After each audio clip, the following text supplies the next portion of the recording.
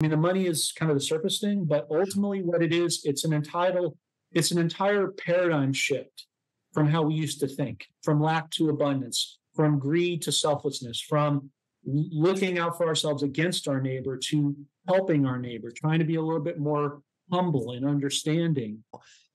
Could you please, uh, first of all, because I want my viewers to understand the currency revaluation, um, Sure. you know, because I want them, some people don't know, and some of them want to be part of this. I, I can only tell you what I have personally. So I only recommend what I have.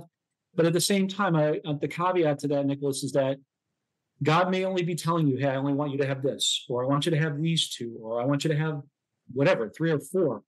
Um, you have to use your own personal discernment and prayer about what it is that you're supposed to have and what you can handle.